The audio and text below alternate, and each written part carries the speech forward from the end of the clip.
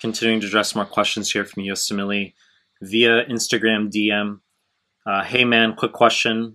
Why are the clinical mastery series forms for 2CK easier compared to UWorld? I know some of you guys watching this clip are studying for step one.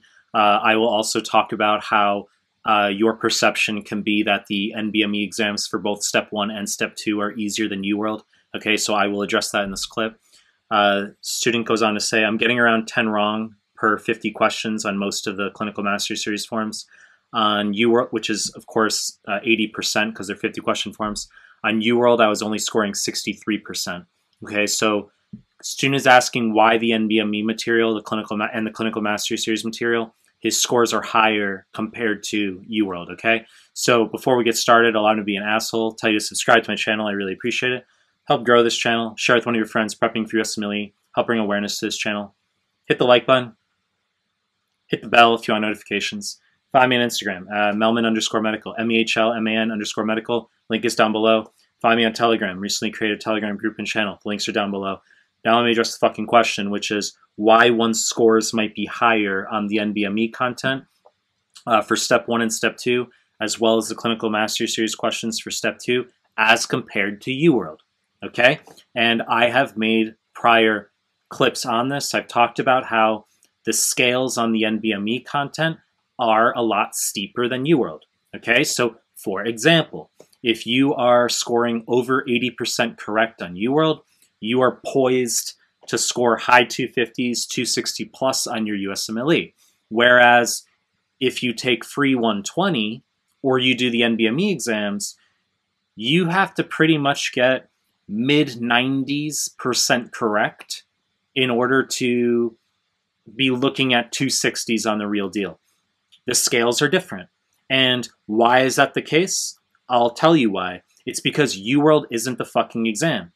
And I say it like that because people tend to very deeply adhere to this notion that UWorld is most similar to the real exam when it's not.